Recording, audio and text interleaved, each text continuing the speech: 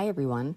For this yoga snack, we are going to practice poses that we have learned so far to help us remember how to do them for not only our minds but also our bodies. So let's begin in camel pose with your feet flat on the ground and your legs together. Lift your head, open your chest, squeeze your shoulders, and place your hands on the back of the chair. Gently press your hips forward while shifting your shoulders back and slowly arching your back. Inhale in, look up, keeping your spine relaxed. Take a deep breath in and exhale it back out. Inhale in one more time. And as you exhale, ground your feet flat on the ground and round your back, tucking your chin into your chest to come into cat pose. Arch your back towards the back of the chair. Take a deep breath in and exhale back out. Good. Inhale one more time. And as you exhale, slowly round back forward and sit up nice and tall in the chair. Great job. Now we are going to switch into our downward facing dog. So come to stand in front of your chair and face the chair. Place your hands flat on the front of the chair and slowly step back so that your arms are stretched out straight in front of you.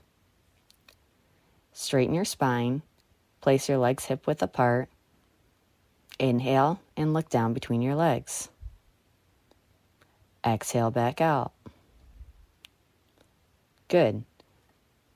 Inhale in and exhale back out to sink a little further. Good. Now, inhale to slowly, while still grasping the chair, come out of downward facing dog. Good. Exhale back out, and we are going to switch into lunge pose.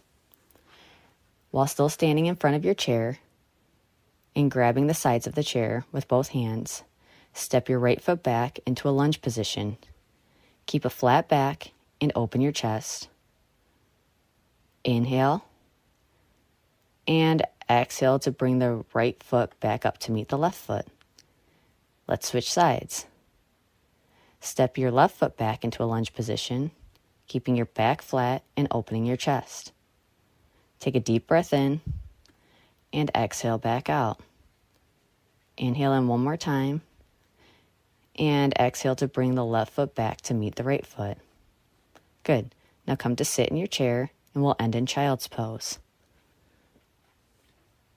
Sit back on your chair and slowly bend until your chest is resting on your thighs and rest your arm down towards the floor. Take a deep breath in. Exhale it back out. Inhale in one more time. And exhale to slowly roll back up in a sitting position in your chair. All right, great job, everybody.